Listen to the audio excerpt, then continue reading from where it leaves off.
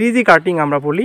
আধুনিক প্রযুক্তির এই থ্রি কাটিং কীভাবে করতে হয় সেটি দেখাচ্ছেন মিঠাপুকুর উপজেলার কাফরিখাল ইউনিয়নে কর্মরত আমাদের উপসহকারী কৃষি কর্মকর্তা জনাব তারিকুজ্জামান মণ্ডল। তিনি হাতে কলমে আপনাদের প্রশিক্ষণের মাধ্যমে দেখাচ্ছেন কীভাবে থ্রি জি কাটিংটি করতে হয় লাউ গাছের। তো আমরা এখন তার সঙ্গেই কথা বলব এবং তার এই প্রসেসটি দেখব। বিসমিল্লাহ রহমান রহিম। সাধারণত লাউ জাতীয় যে গাছগুলো আছে, এই গাছগুলোতে আমরা বলি যে থ্রি জি কাটিং করলে সেখানে ফলন বেশি আসে। এখন অনেকে মনে করতে পারেন যে থ্রি জিটা কী? এটা হয়তো প্রশ্ন আসতেই পারে। যারা জানবেন না, হয়তো এর প্রশ্ন করবেন। সেক্ষেত্রে বলা হচ্ছে যে একটা লাউয়ের গাছ যখন আমরা লাগাবো, লাগানোর পর সাড়ে তিন থেকে চার ফিট লম্বা হলে মোটামুটি দেখা যাবে সেখানে সাত থেকে আট পাতা চলে আসবে। এই পাতা যখন চলে আসবে, তখন আমি প্রথম অবস্থায় যে মাথাটা বের হবে ডগাটা, সেই ডগাটা মাথাটা কেটে দেবো। প্রথম যে মাথাটা বের হয়ে আসবে। মাথাটা আমি যদি কেটে দিই, মাথার অংশটা সামান্য অংশ আমি ছোট্ট করে যদি কেটে দিই এভাবে তাহলে হবে কি? এই মাথাটা থেকে সাইড থেকে আবার পাঁচশো ডাল বের হবে। তাহলে প্রথম ডাল থেকে যে পাঁচশো ডালটা বের হচ্ছে, সেটাকে আমরা বলব টু জি এখন এই টু জি থেকে যখন ডালটা আর একটু বড়ো হয়ে আসবে, আবার আপনারা দেখবেন যে তিন চার ফিট বাড়তি হয়ে যাবে, আবার ছয় সাত পাতা চলে আসবে, তখন আমরা করব কি? যে পাশের যে দুইটা আপনার শাখা বের আসবে, যেটাকে বলতেছি টু জি এই টু জির মাথাটা আবার আমরা কেটে দেবো। যেমন এই গাছটাতে দেখা যাচ্ছে যে প্রথম অবস্থায় একটা কর্তন করা হয়ে গেছে এখানে। তো এখান থেকে কর্তন করার পর চলে আসছে আপনার দুইটা অংশ চলে আসছে, দুইটা ডাল। এটা হচ্ছে টু জি। এই টু জির মাথাটা আমি যদি উঠাই নিয়ে আসি, তাহলে এই যে এখানে চলে আসলো, এটা হচ্ছে টু জির একটা প্রান্তের মাথা আর ওইদিকে আছে আরেকটা প্রান্তের মাথা। আমি এই মাথাটা যদি আমি এটাকে কেটে দেই, তখন এটা আসবে থ্রি জি। আর এই থ্রি জি বলা হচ্ছে যে এই থ্রি জি অবস্থায় সেই গাছগুলোতে সাধারণত গাছের ডালপালা বেশি হবে এবং ফলনটা অনেক বেশি কৃষক পাবে এবং সেক্ষেত্রে কৃষক অনেক লাভবান হবে। একই জমিতে সামান্য প্রযুক্তিটা যদি ব্যবহার করি যে টু জি এবং থ্রি জি তাহলে আমরা একই পরিমাণ জমি থেকে অনেক বেশি ফলন পাবো এবং আমাদের গ্রামের যা চাষি ভাইরা আছে, তাদের মুখে হাসি ফুটবে এবং তারা অনেক বেশি লাভবান হবেন। এতক্ষণ যেটা দেখাচ্ছিলাম যে আসলে টু জি এবং থ্রি জির কথাটা, এখানে এই ক্ষেত্রতে তেত্রিশটা চারা লাগানো আছে, যেটা মালচিং পেপার দিয়ে করানো আছে। তো এই তেত্রিশটা চারার মধ্যে এগারোটাতে আপনার থ্রি জি করা আছে। আর এক পাশে করা আছে টু জি এবং আর একটা পুরা আপনার এক সারি এগারোটা গাছ আছে আপনার কোনো টু জি বা থ্রি জি করে নাই ওয়ান জি থেকেই যা বেরোচ্ছে অটোমেটিক তাই করানো আছে। তো আমরা এখানে দেখতে পাচ্ছি যে আসলে থ্রি জির গাছটা, দেখেন, একটা গাছ থেকে কত শাখা প্রশাখা বেরোচ্ছে খেয়াল করেন। অনেক বেশি ডালপালা যেটা আপনি কল্পনা করতে পারবেন না। এবং আমি এরপরেই দেখাবো যেটা টু জি এবং ওয়ান জি সেটাও আপনাদেরকে দেখাবো। এই শাড়িটাতে পুরো এগারোটা গাছ থ্রি জি করা আছে। এবং থ্রি জি করার ফলে দেখা যাচ্ছে কি, অন্যান্য গাছের যে অবস্থা, তার চাইতে এখানে দেখা দেখেন, আপনার অলরেডি ফল আসা শুরু হচ্ছে, দেখেন।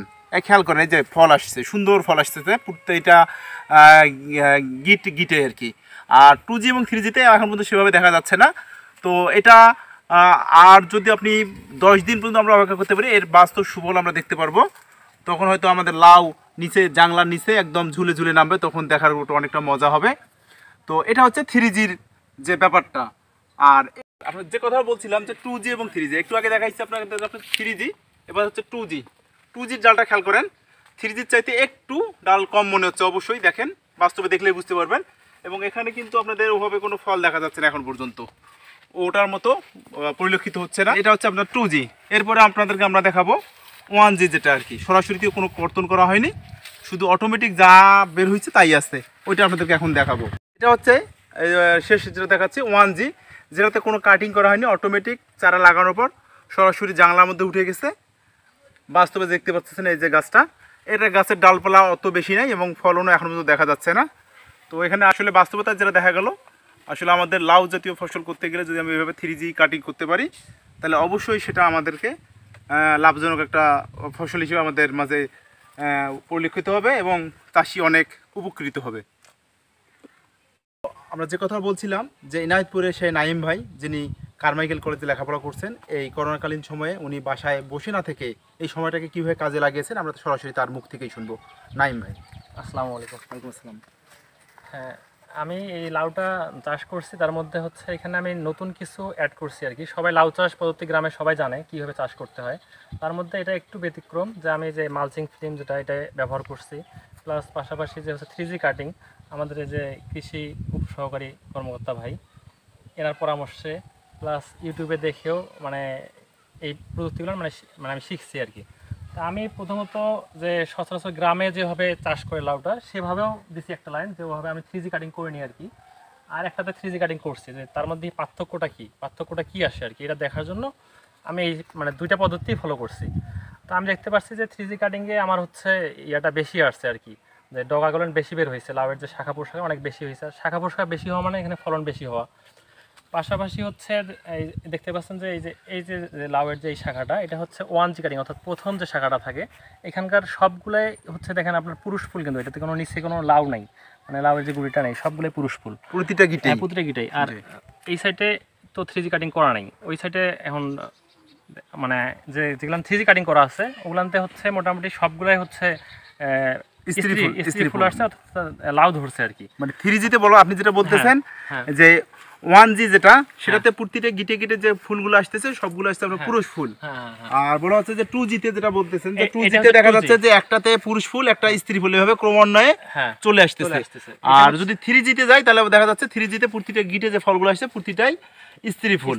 হ্যাঁ। আচ্ছা, আচ্ছা, জি। এটা হচ্ছে আপনারা আর দশ দিন বা এক সপ্তাহ পরে বুঝতে পারবেন ভালোভাবে মানে আমি অনেক সূক্ষ্মভাবে দেখছি জন্য বুঝতে পারতেছি। লাউগুলো ভালোভাবে বোঝা যাচ্ছে না এখনও।